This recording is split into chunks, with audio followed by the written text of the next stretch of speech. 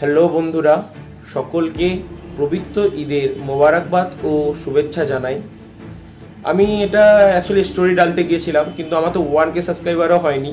One কে হয়ে গেলে তবু ওই একটা পিক পিক লাগিয়ে ভালো করে একটা পোস্ট করা যায়। কিন্তু সেটা করতে পারিনি, তো আমি কি ভাবলাম? ভাবলাম কি ইউটিউবের মানে যারা আমার সাবস্ক্রাইবার্সরা আছে, তাদের জন্য একটা নয় ছোটো করে ভিডিওই বানিয়ে দেওয়া হোক। তো সেই উদ্দেশ্যে আমি একটা ভিডিও বানাচ্ছি। তো এই ঈদ নিয়ে আমরা অনেক কিছুই ভেবে থাকি, কিন্তু এই বছর এই মহামারীর পরিস্থিতিতে পুরো পরিস্থিতিটা পুরো পাল্টে গেছে। তো সকলের কাছে আমার একটা রিকোয়েস্ট যে এই ঈদটা না হয় আমরা বাড়িতেই সেলিব্রেট করি, না বাইরে বেরিয়ে, বাড়িতেই থাকি, বাড়িতে যা এনজয় করার বাড়িতেই করি।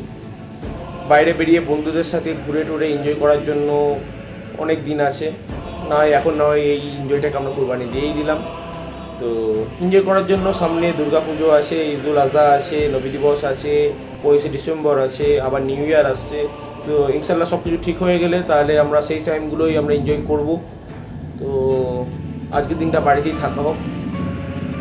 আর কি বলব, বুঝতেই পারছি সকলেরই মনটা খারাপ, আর কিছু করার নেই। তো তবুও চলো, পরে আবার দেখা হবে কোনো ভাইন্স ভিডিওতে